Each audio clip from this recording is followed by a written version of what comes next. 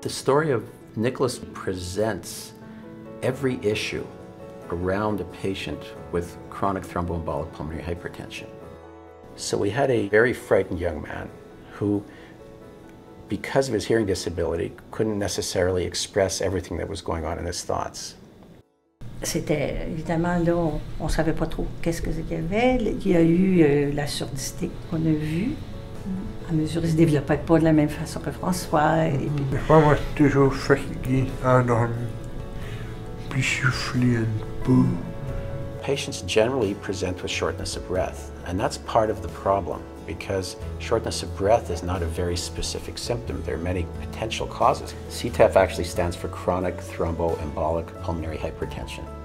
It's a disorder uh, that is seen in patients who have had clots travel up into their lungs, pulmonary emboli.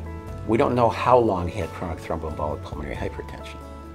What we do know is that around the age of 34, he presented with worsening dyspnea to a degree that, that his uh, family noticed and brought him into medical care. Nicolas was in pretty bad shape. He could hardly walk. He could maybe climb up the stairs. Once he just went up to the second floor and then collapsed and lost consciousness completely. en fait, ce qui nous a amené au docteur Landrevel, c'est en fait on- c'est- c'est- cette ton-là, mais nous autres, on ne savait pas ce que c'était. Alors moi, je pensais que c'était le cœur. Je me faisais le cœur.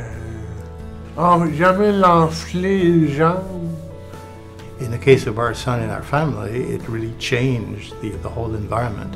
Now we're living more a normal life. One of his pleasures is to be able to climb the hill up to the local oratory in Montreal, and, and whereas before he was unable to do it, now he does it. He does it with pleasure and he does it with ease.